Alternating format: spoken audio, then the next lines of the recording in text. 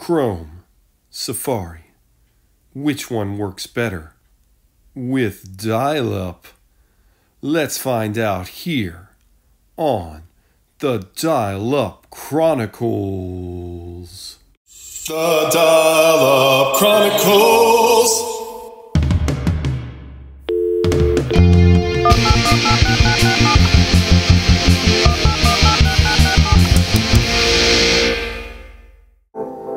Guys, today we're going to be using Chrome and Safari with dial up internet. And we're just going to compare and see how they both work with a couple websites today and see what happens.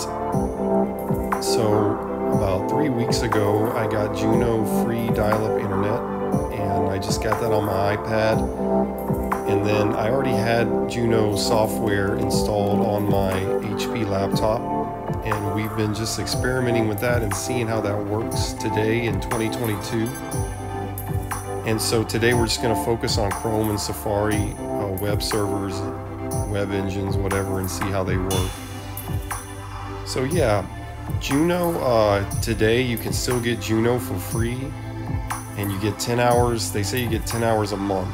There's also an accelerated, but you really don't necessarily need that. And we've been making some videos and just checking them out, checking out dial up today in 2022, seeing how it works. So I've just been having some fun with that with you guys. So I, I, found this article about Safari coming out. So Safari came out in 2003. Macworld Expo San Francisco, Apple Today unveiled Safari, the fastest and easiest to use web browser ever created for the Mac. Safari's highly tuned rendering engine loads pages over three times faster than Microsoft's Internet Explorer for the Mac and runs JavaScript over twice as fast. Safari's innovative features include Google's search capabilities integrated directly into the toolbar. Snapback, a new way to instantly snap back up to search results, are the top level of any website. So anyway, apparently uh, Safari came out in 2002, I want to say. So dial-up was definitely still being used then. Of course, it was on the decline, and broadband was on the upcline. And I believe Chrome came out around hmm, 2008, I want to say. So we're going to take a look into both engines, servers. So here we go. Free Juno internet that anybody can get if you want it. And I know all of you are craving to get dial up again. So go get it. And then get a home phone. And that'll be another video I talk about why it's great to have a home phone. Let's listen in on my home phone while it dials in.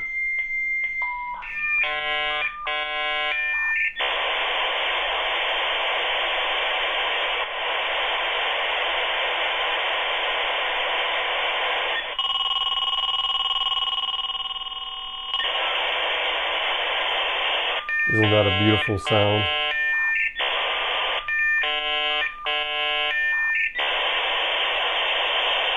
That's the sound of excitement.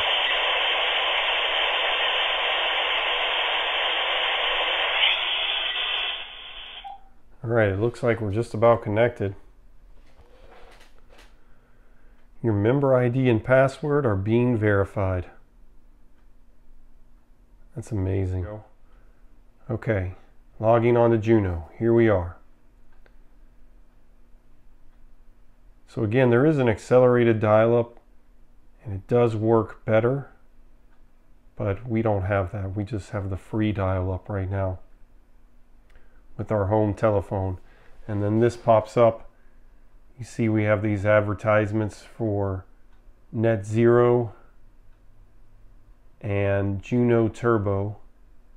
And Juno and Net Zero are basically the same thing.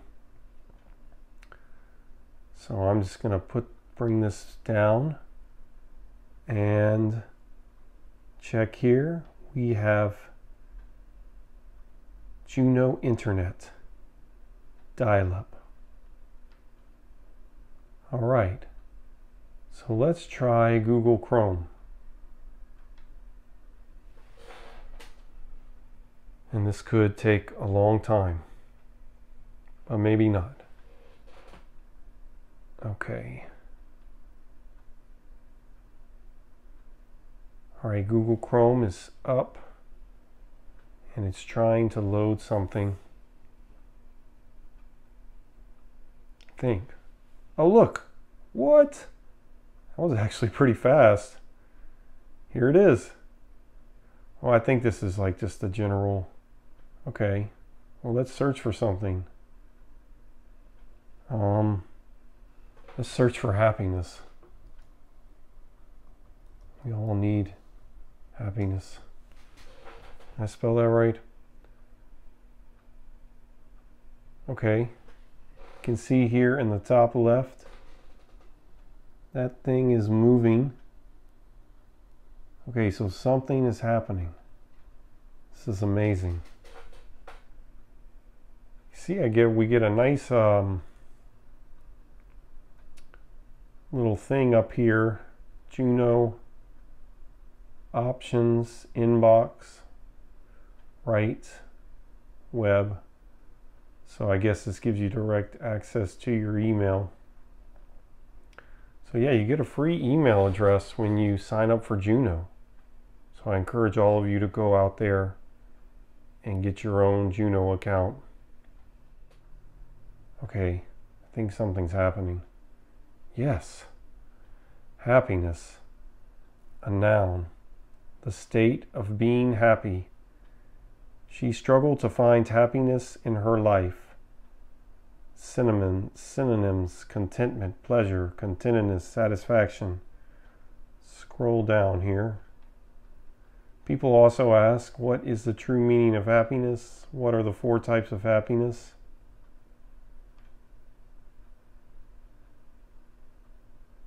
Okay, come back to that. Let's just continue to scroll down. And happiness psychology today. What is happiness? Verywell Mind. Look, we get some images. This is working pretty decently, much much better than I thought. And this is for free. The only thing that's not free is my home phone. So I have to have a home phone to make this work in the original way. Now you can, of course, you can imitate this you can use your Ethernet and you can trick your computer. Um, and there's tons of videos on that. You can trick your computer into thinking it's using dial-up when it's actually using your broadband internet and, and use a form of dial-up internet. But we're doing it the OG way or the old school way. We're actually doing it through the, the, the telephone wire itself, which I think is really neat. So we've got some images here. The term happiness is used in the context of mental or emotional states, including positive or pleasant emotions, ranging from contentment to intense joy. See results about happiness. Oh, there's a film called Happiness. This dark ensemble comedy is centered on the three Jordan sisters. Oh, that's cool. There's Wikipedia definition of happiness happiness definition. Okay, and we're getting images, we're getting top stories. So let's click on something and see what happens. World Happiness Report reveals more sadness and more. Now this is where we might run into some problems. Trying to pull up a modern website using dial-up. But let's see. So I'm really pleasantly surprised on how well it's working so far. greatergood.berkeley.edu. Okay. Sometimes uh, .edu websites have like older, still use the older type stuff that was used during the dial-up era. So we might get lucky and this might pull up for us.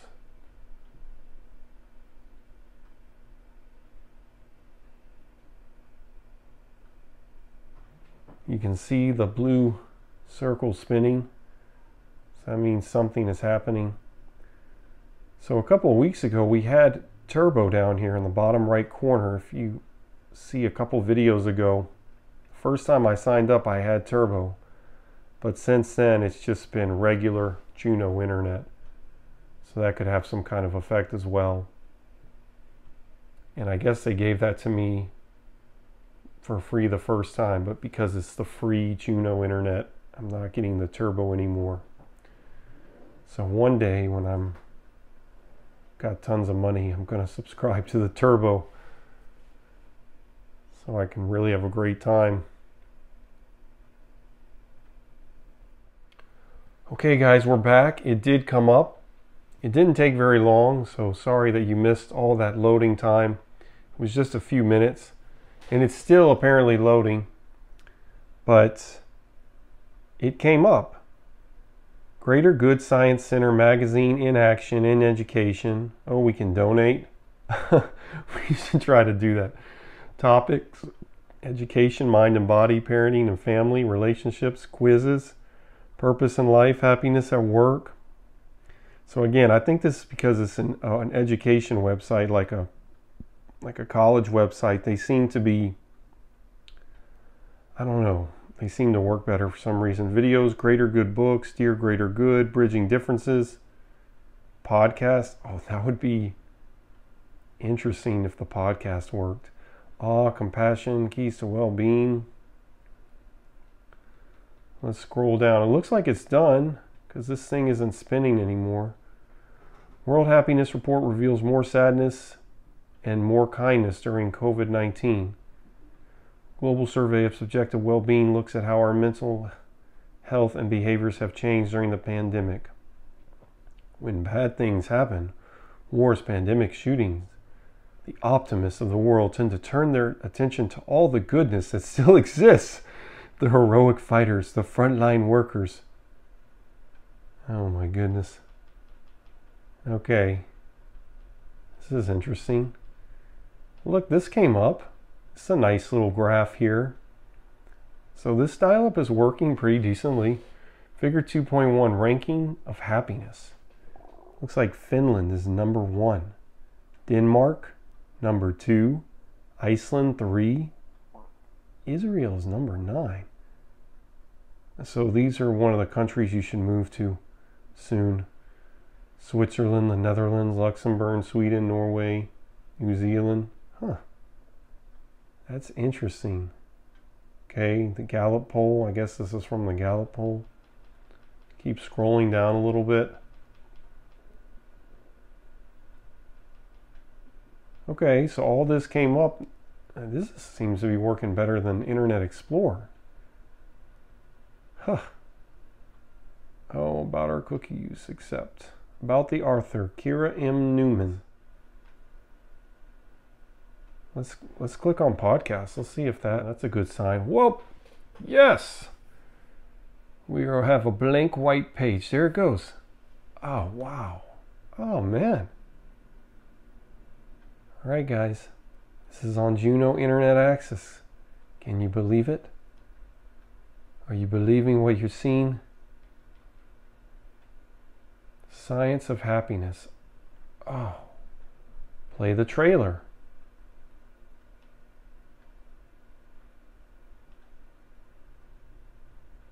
Oh, no data received. Okay, we're going to try Safari now. I'm interested to see if this works. That would be neat. So this is just like an old HP laptop, probably from the early 2000s, I guess. I really have no idea. I haven't looked deeply into the model or anything. I'll have to look into that at some point. Okay, apple.com slash start page. You see the little uh, thing. Okay, here we go. Something's happening. Oh, this is neat. This is really exciting. And look, we have all these little things we can just click on. Oh man, that'd be play a YouTube video on dial-up. That would be amazing.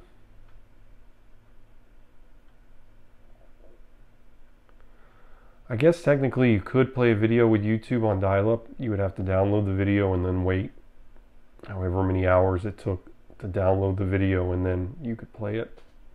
So I guess that would actually work. We're not going to do that. Okay, it looks like the page is, if this coloring in is any indication, we're getting close. We're getting close to um, something happening. This is a good sign. This is really good. Maybe we will stop using Internet Explorer. We'll use Google or Safari. Next week, we're going to have to try Firefox see how that works.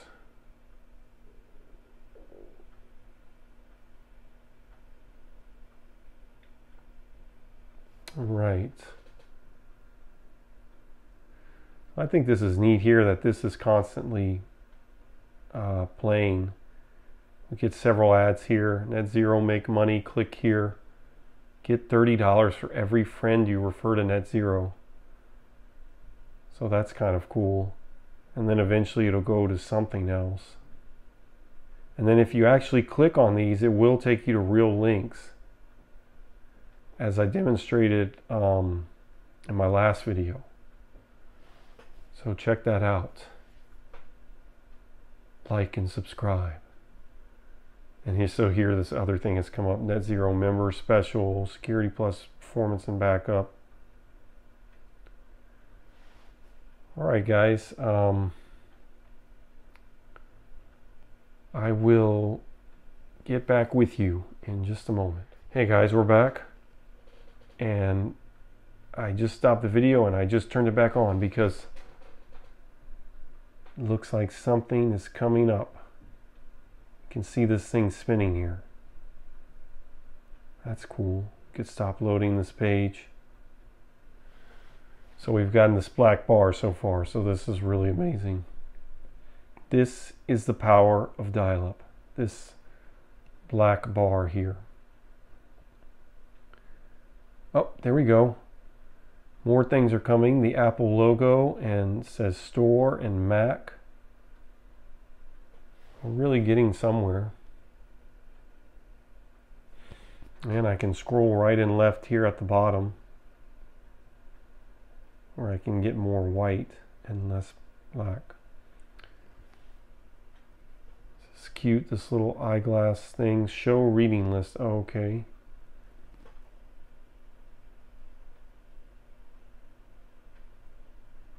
All right.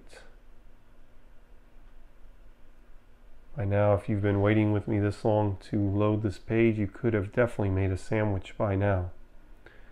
And you could have started eating it. It's probably a good way to watch this video, honestly. Make a sandwich and just turn this on. Okay, we are loading. And guys, I will get right back to you. All right, guys, we waited about eight, nine minutes or so. And as you can see, still got the same thing here. It says store, Mac, Apple. This thing is spinning. My fan is chugging along nothing is happening, I would, oh, look, we've got these two blue arrows. So let's go to wiby.me, hit enter, and let's see if this, if this works. Uh-oh. We had a sound from the computer. Okay, whoa, that came up quick. Oh, that was awesome. Okay, let's hit surprise me. You asked for it. Boom. Oh, okay. See, now that's the speed I got the first time we used Juno Internet on my HP like three weeks or so ago. Just popped right up just like that. And again, it's because um, the search engine wiby.me brings you to websites that are tailored to work with older computers and, and slower speeds. So you can see all this great stuff came up, all these pictures of mushrooms, Tom Volk's Fungi. You got this license plate that says mushrooms. Welcome to my fungus webpage. I hope you enjoy learning something about lots of different kinds of mushrooms and other fungi. August 9, 2010. It's been over four years since my heart transplant. Oh, goodness. Okay, that's serious. Wow.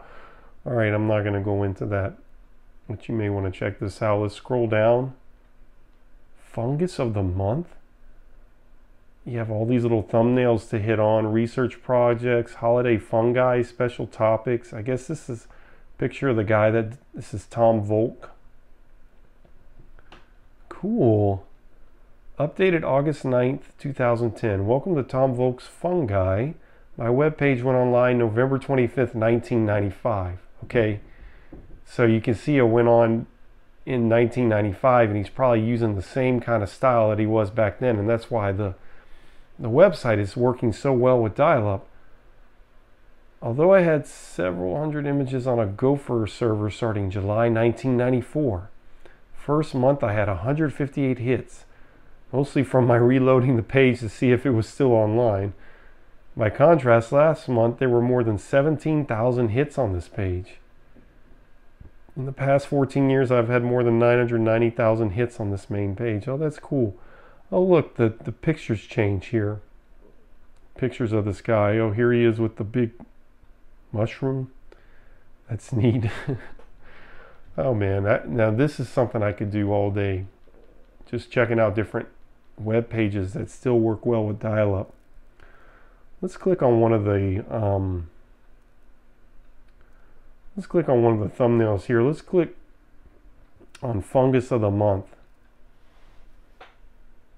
And boom, look, look how fast that came up. That's really neat. Tom Volk's fungus of the month pages.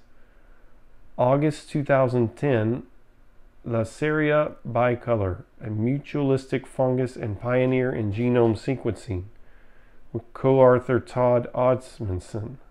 Let's click on August 2010. And we get a picture and some text about Laccaria bicolor, the fungus of the month. Oh, neat. This month's fungus is whatever. And, oh, whoa, something else happened. We got a black background and we lost the text though. Okay, this our, our Safari spinner. So Safari is working with dial-up just fine for the most part. We got some pictures coming up. Okay, so we're having some issues with this, but it is coming up. Pictures in the text. Scroll down, a lot of text, a lot of pictures. Okay, well that's neat. Let's let's go back to wiby.me and let's do one more surprise me.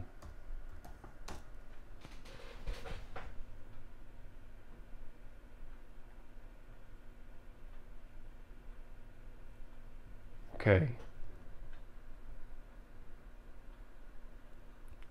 There it goes. Okay, that wasn't too bad. It took a little bit longer than the last last time we, we typed it in. Let's hit surprise me. You asked for it. obsoletecomputermuseum.org. Oh, this looks like a fun site we're going to have to check out again. There's another website I want to check out in another video at some point that we checked out last week called toastytech.org, I want to say. Welcome to Obsolete Computer Museum. We get a little side thing over here. It's nice text and picture. Uh, Obsolete Computer Museum. Oh, this looks latest news running since 1995. Again, just like the last website, started in 1995. So it's still kind of built with that same foundation. That's why it came up so quickly with our dial up. Out with the obsolete, in comes new. Check out all the new computers and gadgets to go with them reviewed are savantmag.com. Okay, lots of uh, things to links to click on.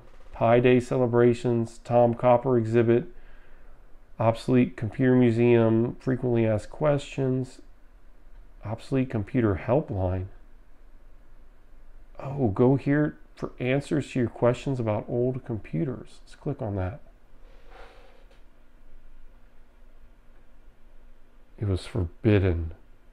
You don't have permission to access. What? Whoa, okay. Let's go back. Scroll down.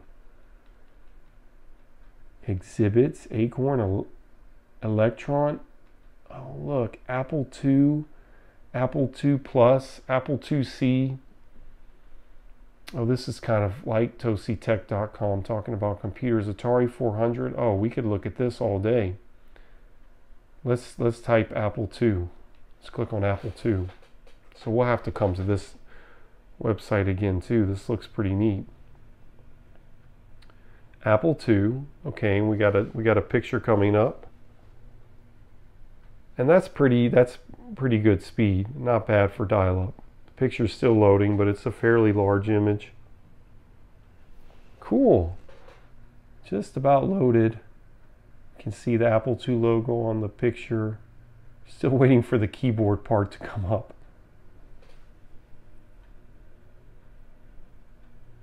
Great. So that didn't that didn't take too long at all. And we scroll down. Here it is, the original Apple II, darling of schools everywhere. If you're anywhere near my age, late 30s, then you're then you used one of these. Okay. Shot with the top off. Backside. Okay, so there's different pictures. Most recent comments, no comments. Okay, so it's basically just a picture. Let's go back to the museum. But that's cool. Are several pictures. Let's see how quick it takes to get back to the the main page. And look, there's a little picture of this dude up here in the search engine. Okay, this is pretty neat.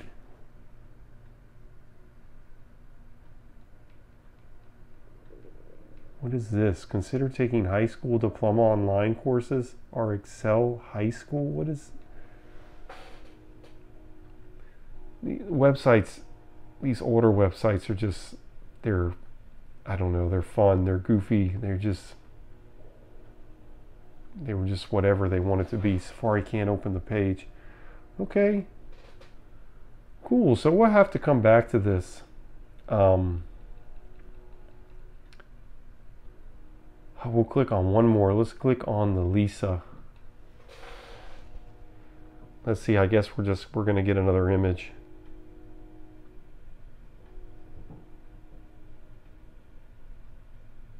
Apple Lisa. Text already came up. Inspired by Xerox's new idea, And there's the picture. That, that didn't take long at all for that one. And there's the Lisa. It's a good picture. And that's what you use dial-up for. I mean, back in, you know, when it first came out to get images and text. And that was a big, that was huge back then when it first came out. You know, when the internet first really started going in, in around 1994, 1995. And I guess there's different pictures we can click on. Front view with front cover removed, Let's click on that. Yeah, and it's saying www.obsoletemuseum.org slash lisa slash open jpg jpeg and there comes the picture with the front open. And that didn't take very long at all.